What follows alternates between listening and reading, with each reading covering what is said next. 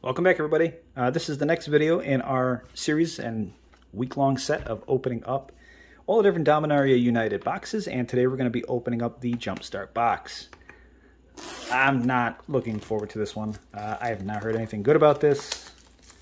Uh, this just, from what I've been able to uh, to read and, and to see about this, it's just kind of a cash grab. So,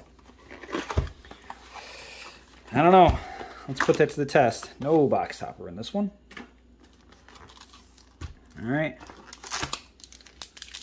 Let's get down to business.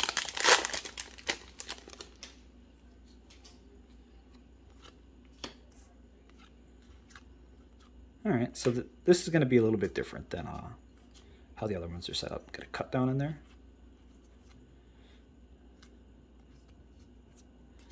All right, we got Tyrannical Pit Lord, and we have the Raven Man, and then we have our lands. All right, so we're gonna we're gonna split this up a little bit. Commons, uncommons, land, and then we're gonna have our repair pile. All right, we got the Arcane Mischief for our uh, our theme.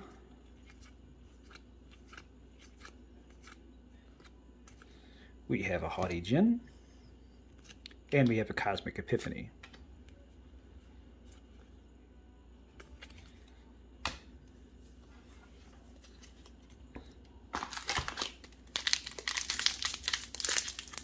I don't know what to expect. I don't know if these are kind of following some of the previous jump starts that would maybe have uh, different variants of the ones that you're opening, the Coalition Core. I guess we're going to find out.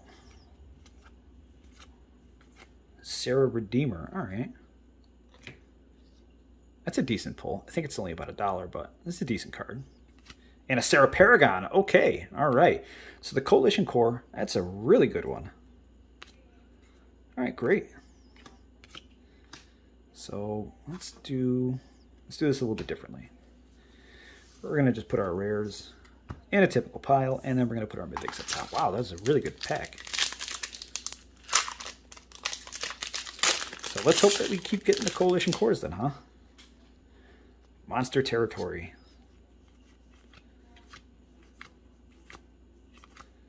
All right, got a Briar Hydra and a Llanowar Loam Speaker. Gross. So I wonder if you can pull like artifacts like Timeless Lotuses out of here. That'd be nice. Get ready to charge. I wonder if we're going to get a Shivan Devastator.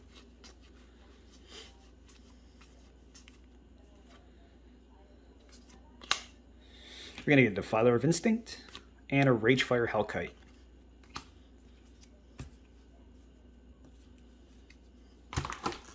These go quick. They are some fat packs. Alright, totally merciless. So our next theme. Another Tyrannical Pit Lord. And a Weatherlight compleated. Okay. So there is a little bit of variety um, to these packs.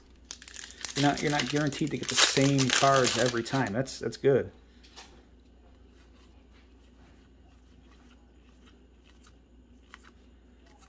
Oh, we did get it. Shivan Devastator. And a Ragefire Hellkite. Alright, I like that. So maybe there are two variants. One that is the common rare, and then one that is the mythic. Which yeah, I'd be okay with that. Totally merciless. So what do we get out of that one? Okay, so we had the Pit Lord one. I'm trying to think what's black in Mythic in this one. Not that. Okay. So... Oh. Alright, we got Mystic Mischief.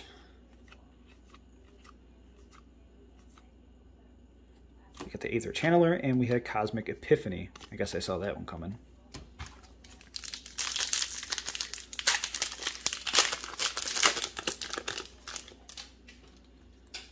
Alright, so let's see if we get another Serra Paragon out of this one. Alright, that's looking good. And not so good. So there's got to be there's got to be some kind of variation to these. Just like with previous ones, where you'll get a couple of different cards, but uh, you know they'll spice it up for you every once in a while. Got a Briar Hydra and a Herd uh, Migration. Not the greatest.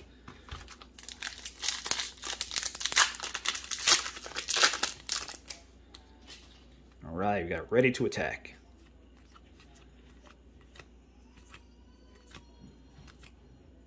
All right, we have the Elder Dragon War and a Ragefire Hellkite. All right, last couple packs.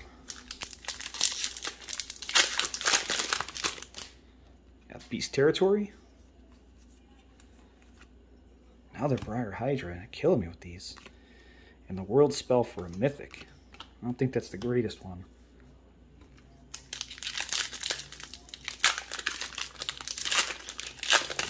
What do you guys think? Do you guys like Jumpstart as a set? Do you like it in Dominaria United specifically? Do you not like it at all? All right, we got a, a Keldon Flame Sage, and we have another Ragefire Hellkite. God, I'm getting Commander Legends flashbacks where I open up four Hellkite coursers in a row. If you haven't seen that video and you want to laugh, go check that out. Another Tyrannical Pit Lord. And a Braids. Not horrible, not great.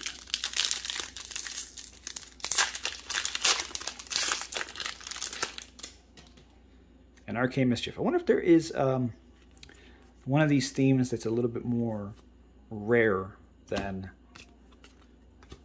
than the other ones, like a Phyrexian one or something like that, uh, if they have those. Coalition Core. All right, well, let's see if we can get ourselves another Serra Paragon, Serra Redeemer, and, all right, you know, a Leyline Binding. That's still a great rare. But we're down to our last one, so all good things got to come to an end, guys. Let's see. Will it be something we don't have yet? It definitely will not. So what do you guys think? Do you like this set? Do you like Jumpstart? Do you like Dominaria United? You think that's worth it? Do you think the price of these Jumpstart boxes, 70 something dollars, do you think it's worth it? Let me know in the comments down below. Again, don't forget, like, comment, and subscribe, and I'll catch you guys all on the next one.